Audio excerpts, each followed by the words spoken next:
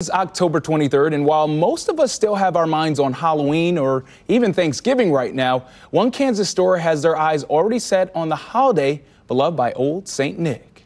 I have this one that's really beautiful. Like this is a beautiful stone. It's super heavy. Demdeko in the Legends is already a Christmas wonderland. This is the most popular demand thing for holiday. And if you're thinking it seems early, you're not alone.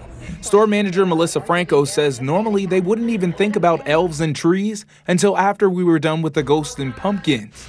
But this year they were forced to get into the Christmas spirit a little earlier than usual. We know that things are definitely behind and you can't get them and there's not mass quantity and things. An issue being seen nationwide because of major port backups in Southern California, holding up billions of dollars worth of supplies. But back here in the metro, Franco, along with businesses around the area, will continue to sell what they have and hope the many items they're ordering get to the store in time. Really curious to see how our holiday will play out. I know that people are out there shopping, so excited.